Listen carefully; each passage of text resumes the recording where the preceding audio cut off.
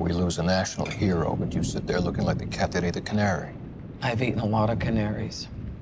It's taken some work, but I finally have them. The worst of the worst. There's rumors, Amanda, that uh, some of them have abilities. Well, the rumors are right. I have seen things. Maybe Superman was some kind of beacon for them to creep back from the shadows. You're playing with fire, Amanda. I'm fighting fire with fire. You're not going to pitch us that Task Force X project of yours again, are you? Yes. But this time you're going to listen. Floyd Lawton. He's the most wanted hitman in the world. And you caught him? Where'd you put him? Let's just say I put him in the hole and threw away the hole. Dr. Harleen Quinzel, a psychiatrist at Arkham Asylum. She was assigned to the clown himself. Talk about a workplace romance gone wrong.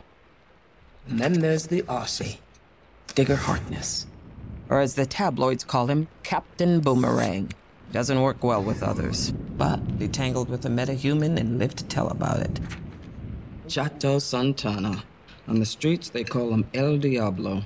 Gets jumped in a prison riot and incinerates half the yard. The security video is incredible. Oh, Jesus. What the hell is that? His name is Waylon Jones. Evolution took a step backwards with this one. He was chased out of Gotham by the Bat, went searching for sanctuary elsewhere. He never found it. I saved the best for last. The witch. A witch. I'm talking a flying spell casting, making shit disappear witch. A sorceress from another dimension, another world. Where, where is this witch? In my pocket.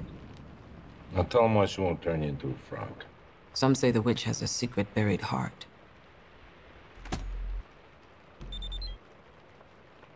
That thing's her heart. Mm-hmm.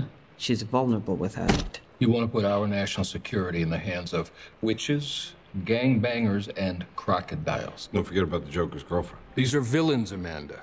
What makes you think you could control them? Because getting people to act against their own self interest is what I do for a living. In a world of flying men and monsters, this is the only way to protect our country.